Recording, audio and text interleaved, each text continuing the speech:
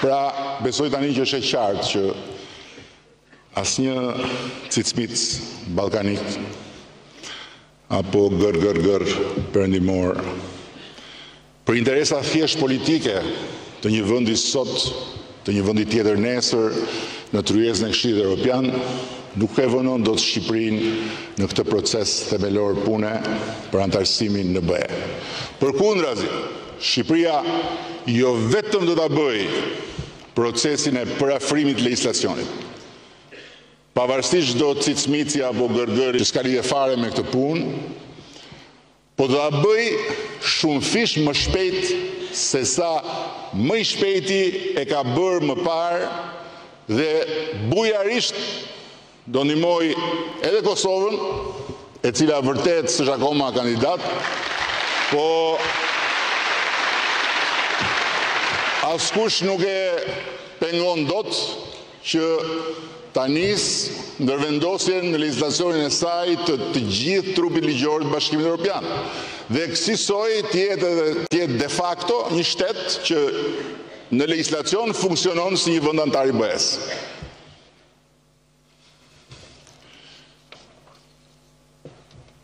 Pra, të dashur Vëllezër e motra këtu dhe shqiptarë e shqiptare kudo jeni, besoj që është e qartë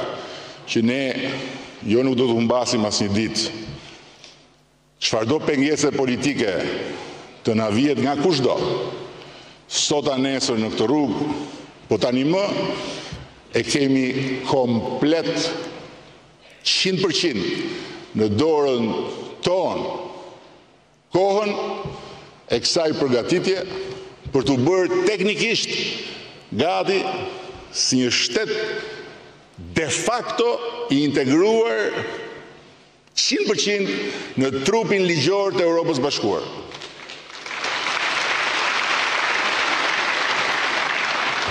Argumenti i dytë pse nuk duhet askush se unë asnjë fije të vrasë mendjen asnjë sekondë për pengesa të kësaj natyre është mirëfilli politik. Që të integrohesh në Bashkimin Europian duhet të bëhesh ti gati për BE-në, po duhet të bëhet dhe BE-ja gati për ty. Dhe që BE-ja të bëhet gati për ty, Nuk mjafton të jesh gati ti, po duhet që njëzet e shtatë shtetet anëtare të BE-së mos kenë asnjë arsye të brendshme në vendin e tyre, ose më saktë, njëzet e shtatë qeveri të BE-së, të cilat kanë Agjendat e tyre politike, programore dhe elektorale të mos kenë asnjë arsye të brendshme të nxjerrin bishta që në dukje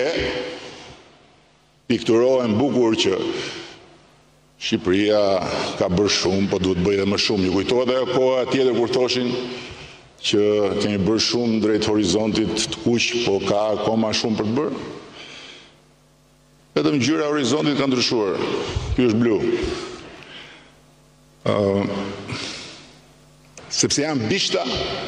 të mungesës së gatishmërisë për konsensus brenda Bashkimit Europian.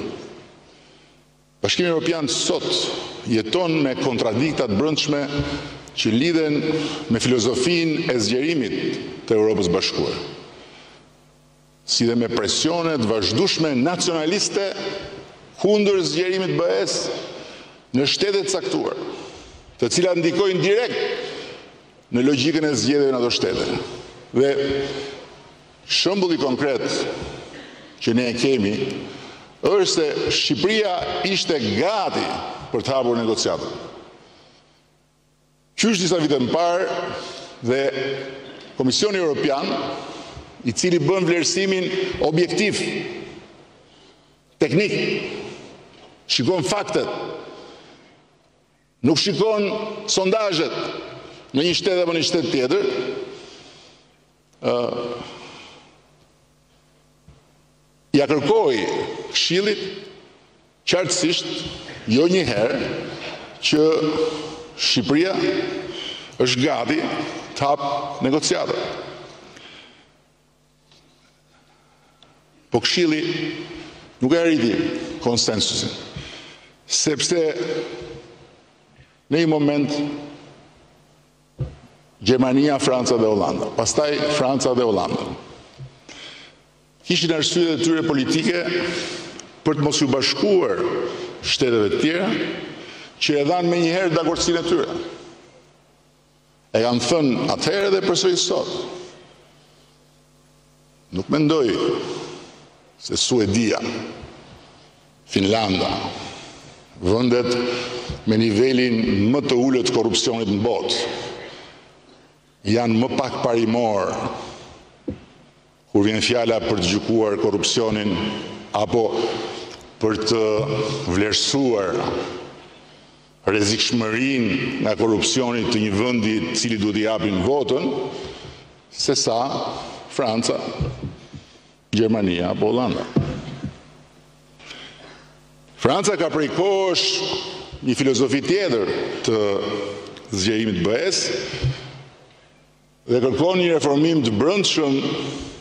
konceptual të gjithë organizmit dhe funksionimit të BE-së. Ndërsa Holanda, që është një vend ku skepticizmi tradicional ndaj zgjerimit është rritur shumë, sidomos në dhjetë vitet e fundit, ka qenë vazhdimisht nën presionin e rritjes së forcave nacionaliste anti-BE, jo vetëm anti-zgjerim, po anti-BE fare. Dhe Shqipëria u bë në një farë mënyre pengu i asaj dinamike. Sa mbaruan zgjedhjet në Hollandë, Holanda e zbuti pozicionin dhe kryeministri holandez erdhi për herë të parë në historinë e marrëdhënieve të Shqipërisë me Holandën në Tiranë dhe konfirmoi mbështetjen e Holandës për të çelur negociatat me Shqipërinë. Tani ka dalë Greqia. Me arsyen e mosarsyes së saj për rastin që dimë, i cili nuk ka asnjë lidhje as me Bashkimin Europian, as me kushtet e procesit negociatave, as me ndonjë mangësi të Shqipërisë në këtë fazë të negociatave, ku Shqipëria ka shkëlqyer, në kuptimin e plotë fjalës ka shkëlqyer në procesin e përbashkët të skanimit të pozitës saj aktuale, po nesër mund dali dikush tjetër. E kështu me radhë. Po pse për këtë do ta prishim gjakun? Se ne duhet të jemi të vetëdijshëm, qetësisht të vetëdijshëm dhe nuk duhet ta humbasim kurrë busullën që Bashkimi Europian, Europa,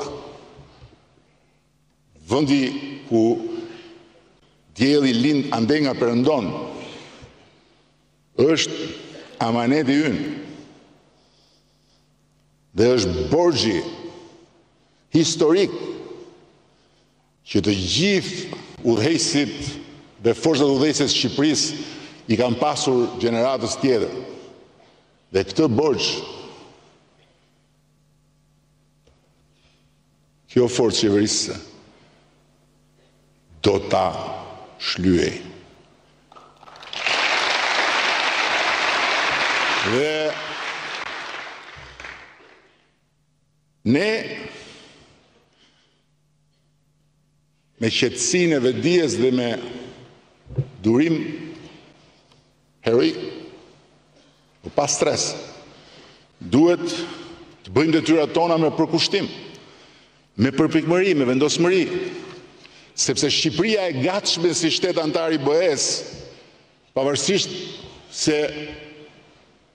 a I hapet rruga sot, a i hapet rruga nesër kur është e gatshme, për arsyet që thash, përpara se t'i duhet Francës, përpara se t'i duhet Holandës, përpara se t'i duhet Gjermanisë, përpara se t'i duhet Greqisë, na duhet ne, i duhet fmijëve tanë dhe fmijëve të fmijëve tanë, këtu, Në atdheun tonë, ku ne duhet të sigurojmë për njerëzit e këtij vendi